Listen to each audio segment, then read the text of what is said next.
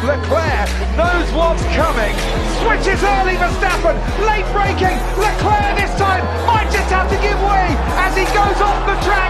Max Verstappen leads the Austrian Grand Prix. Here comes Verstappen again. He's almost pushed onto the grass. Somehow Leclerc stayed ahead.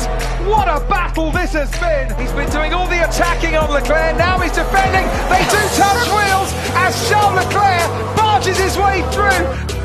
you could actually fast forward 10 years because I think you're going to be seeing a Yeah. lot of this.